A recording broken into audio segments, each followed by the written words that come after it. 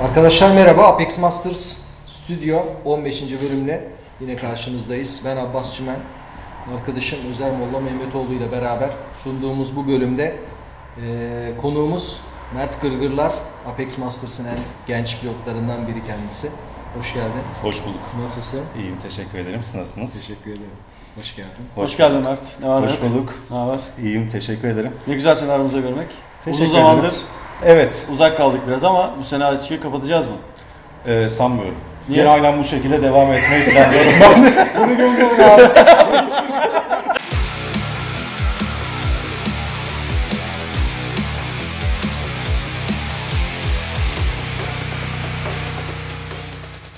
Biraz kendinden bahseder misin Mert? Kendimden Önceki bahsedeyim. Kimsin, nesin, necisin? Ben Mert Gırgırlar. 32 yaşındayım. İstanbul Çok da doğumluyum. gençliymiş ya. Aynen pek de genç Evet, sayılmaz. genç Genç, gösteriyorum genç galiba. gösteriyorsun. Sen benden daha genç duruyorsun yalnız abi.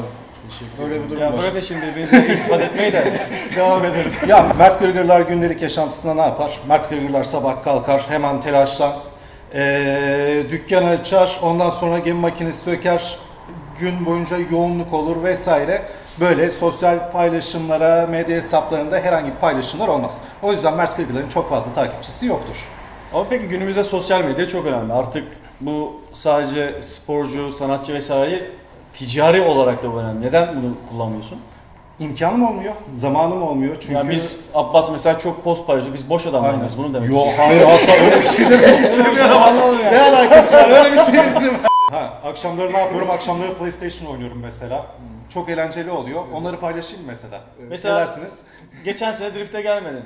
Yani kendini PlayStation'da mı tatmin ediyorsun? Hayır, geçen sene ben drift'e geldim. Ne zaman geldin? İlk yarışta beraberdik ya. Hatta Ya, ilk lastikleri yarışta beraber ya kardeşim geri kalan yarışlara neredesin? O manada. Ya işte o yarışlara pek imkanım olmadı gelmeye. PlayStation daha mı keyifli geldi? PlayStation yok daha keyifli değil de tabii gerçekçi olaylar var, duygusal olaylar var birazcık. Sponsor Onlar biraz- yok yani. Sponsor Sponsor yok adam? Ama Sponsor neden mu? yok? İşte diyorsun ki ben sosyal medyada yokum. Sponsor seni nereden bilecek? Bilmiyorum ki. Öncelerden beri Onlar da sürekli öyle bilmiyoruz atıyoruz. ki. Neyse elbet tanışırız bir gün ya. O zamanlar da gelir. Bunlar böyle basamak basamak. Daha arabayı aldık, geliştirdik, test ettik. Yaşım genç diyor daha vakit var. Her şey olabilir Yaşım yani. yaşıyorsa 35 yaşına gelmiş. Ama önceden drift mi vardı ya? Önceden drag vardı, time attack vardı falan filan vesaire. Sonradan işte Mustafa ile Mert'le karşılaştık 2007 senesinde. Mustafa ile Mert mi Mustafa Mert'le mi? Mustafa Mert, Mert Bilaroğlu, Mustafa Mert Kazaç karıştı ortalık. Her neyse o günden beri driftlere geldim gittim vesaire. Dedik bir tane Ford Mustang yapalım da şöyle güzel drift aracı olsun. Herkes karşı çıktı.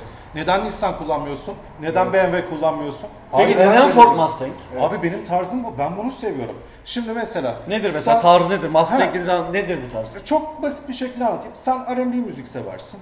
Abbas abi sen pop müzik dinlersin. Ee, Abbas izleyicilerimiz- önce arabesk şey dinledi. Arabesk, he, kendimizi aynen. Dur dur dur dur dur. Onlara girmesin. Takipçi falan kaybedebilir. Ekstradan da kazanabilir. Kimisi arabesk sever. Ya şimdi şöyle.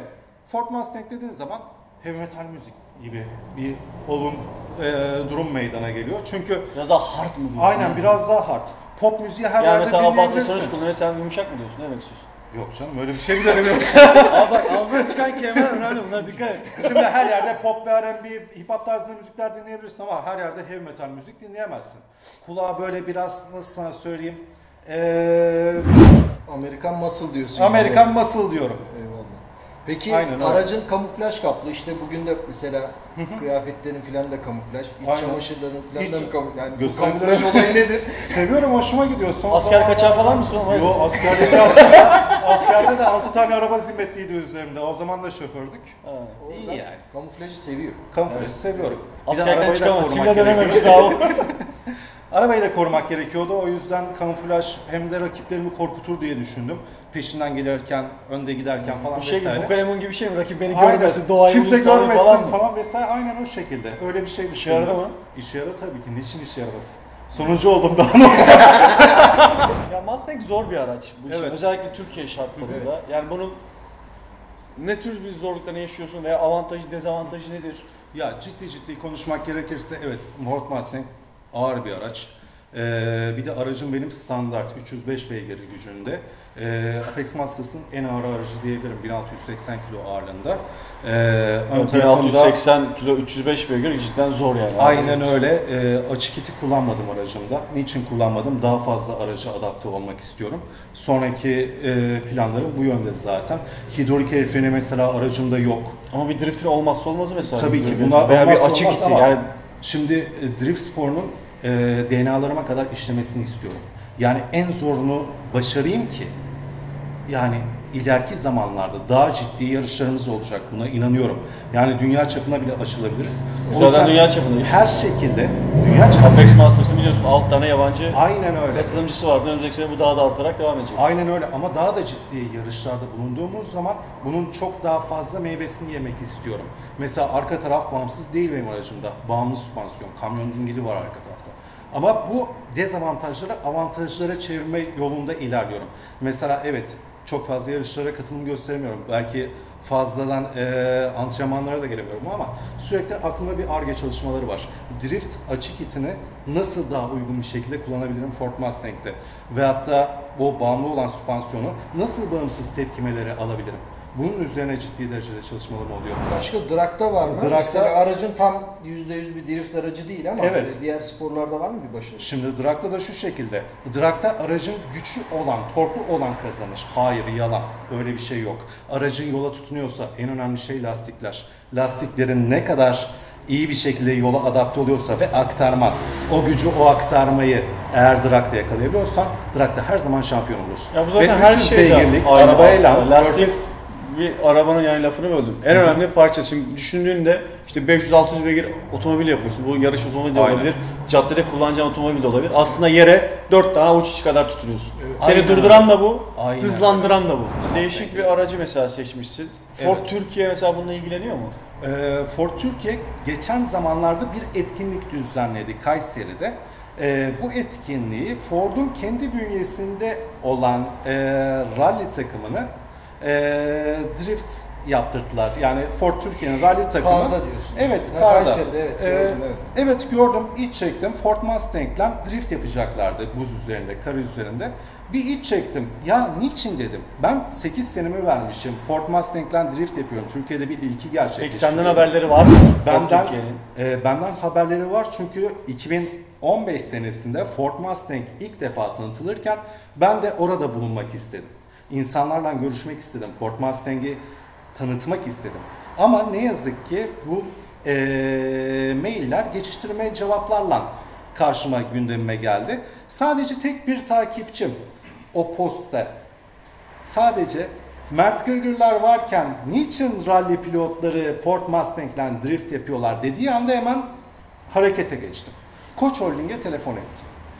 Görüştük, konuştuk. Sonrasında geri döneceklerini söylediler ama halen daha beklemedeyiz. Yok, Geri dönen olmayacak. Zaman- Zamanında öyle bir Ford şey. Türkiye'ye Ne mesaj mı olsun yani? Umarız izlerler belki dönüş yaparlar. 2018'deki projelerin neler? Ee, 2018'deki projelerim neler? Ee, 2018'de ben Ford Mustang, Türkiye'de Ford Mustang kullanan ee, ve Ford Mustang'den ilgilenen bütün insanlarla irtibat halinde kalmak istiyorum. Şu anda %50 bir kesimden görüşüyorum. Özel bir grup açtık kendimize. Ford Mustang'le alakalı sıkıntılar, problemler, ee, çözülebilecek olaylar, motorsporları vesaire bunların hepsini görüşüyorum. Ekstradan da Instagram'dan bir sayfa açtım. Ford Mustang Owners diye.